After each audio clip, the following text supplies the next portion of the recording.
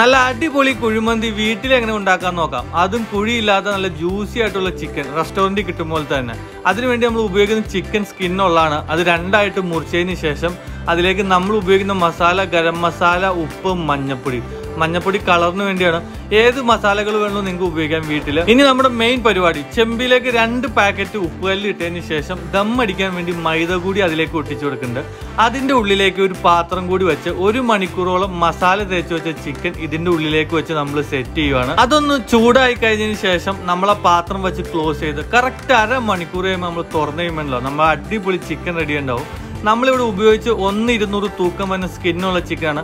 നാടൻ ചിക്കൻ ഉപയോഗിക്കുമ്പോൾ നിങ്ങൾക്ക് വേണമെങ്കിൽ കുറച്ച് നേരം കൂട്ടി വയ്ക്കാം പിന്നെ നമ്മുടെ വീട്ടിൽ കുറച്ച് എരിവ് വേണമെന്നുള്ളതുകൊണ്ട് കുറച്ച് മുളക് പൊടി ഉപ്പും കൂടി കലക്കിയതിന് ശേഷം നമ്മൾ ഇതിലേക്കൊന്ന് തൂത്ത് കൊടുത്ത് നമ്മൾ മന്തി റൈസിലിട്ട് രണ്ടും കൂടി ദമ്മടിക്കുന്നുണ്ട് അപ്പൊ നമ്മുടെ ഇൻസ്റ്റാഗ്രാം പേജ് ഫോളോ ചെയ്യാൻ മറക്കണ്ട. ഫുഡ് റൈഡർ എന്നാണ് പേര്. അപ്പൊ നമുക്ക് ഇനി മന്തി റൈസ് എങ്ങനെയാണ് ഉണ്ടാക്കണമെന്നും അത് ദമ്മടിക്കണം എങ്ങനെയാണെന്ന് നോക്കിയാലോ.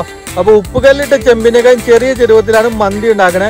ഒരു ഇരുന്നൂറ് ഗ്രാം സൺഫ്ലവർ ഓയിൽ ഒഴിച്ച് അതിലേക്ക് ഒരു സവാള കട്ട് ചെയ്തിട്ട് അതുപോലെ തന്നെ ക്യാരറ്റ് ക്യാപ്സിക്കം ഇഞ്ചി പച്ചമുളക് തക്കാളി ഇതെല്ലാം കൂടി അതിലേക്ക് ഇട്ട് ആവശ്യത്തിന് സ്പൈസസും കൂടി ഇടുന്നുണ്ട് ഡ്രൈ ലെമൺ ഇടാൻ മറന്നുപോയി. അപ്പൊ മൂന്ന് കപ്പ് അരിക്ക് അഞ്ചേ മുക്കാൽ കപ്പ് വെള്ളം ഒഴിച്ച് ആവശ്യത്തിന് ഉപ്പും കഴുകി വാരി നമ്മുടെ അരിയും കൂടി അതിലേക്ക് ഇട്ട് തിളപ്പിച്ചെടുക്കുകയാണ് വെള്ളം പറ്റി കഴിയുമ്പോൾ ഒരു മൂന്നോ നാലോ പച്ചമുളകും കൂടി അതിലേക്ക് ഇട്ട് കൊടുക്കുന്നുണ്ട്. അപ്പൊ ഇനി നമുക്ക് ദമ്മടിച്ചാലോ എഴുപത് ശതമാനം വെന്ത മന്തി റൈസും അതുപോലെ നമ്മുടെ ചിക്കനും കൂടി ഉപ്പുകല്ലിട്ട് ചെമ്പിലേക്ക് ഇറക്കി വെച്ചതിന് ശേഷം സൈഡിൽ സ്ഥലമുണ്ടെങ്കിൽ അവിടെ കനലിടുക. അല്ലെങ്കിൽ ഇതുപോലെ തന്നെ ചെറിയ പാത്രത്തിൽ കനലെടുത്ത് സൺഫ്ലവർ ഓയിൽ ഒഴിച്ച് ഒരു ഇരുപത്തഞ്ച് മിനിറ്റ് മൂടി വെക്കുക. തീ കത്തിക്കണം കേട്ടോ.